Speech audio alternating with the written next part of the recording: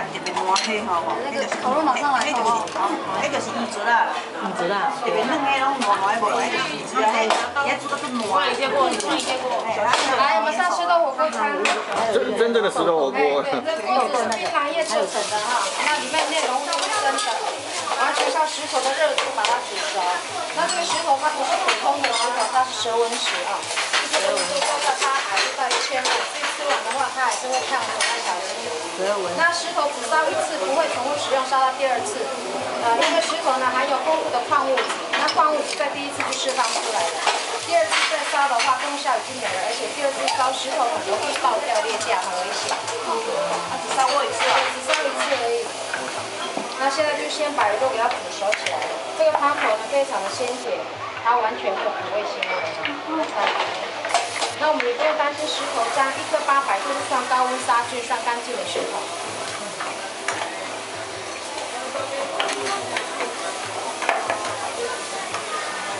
完全是用石头的温度。对对，它里面都没有锅炉啊，就石头的热度。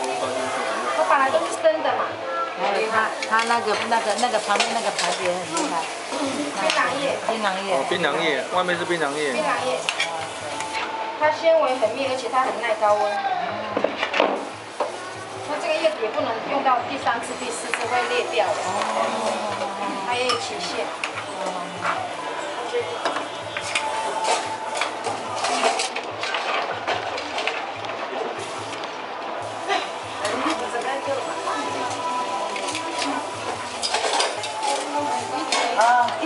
来，现在下来的菜叫做西洋菜啊，长在水里的野菜、绿菜。这个，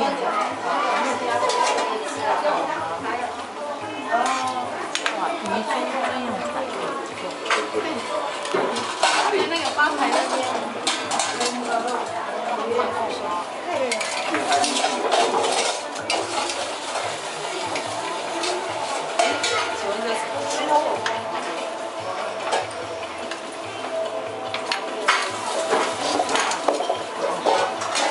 棒哎，哦。是的，已经过去了吗？我去看一下。